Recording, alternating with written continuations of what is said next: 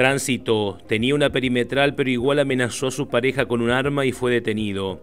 Los efectivos de la Dependencia Policial de Tránsito recibieron el miércoles 8 de marzo, pasadas las 22.30 horas, a una mujer de 38 años, quien manifestó que su vivienda ubicada sobre Avenida Juan Domingo Perón el 400 se encontraba su expareja con el cual posee un impedimento de contacto y acercamiento y que el violento la había amenazado con un arma de fuego.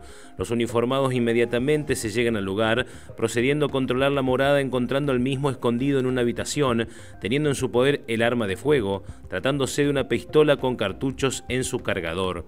Tratando de que no pasara mayores la situación, los efectivos logran reducir al hombre de 38 años, quien fue detenido.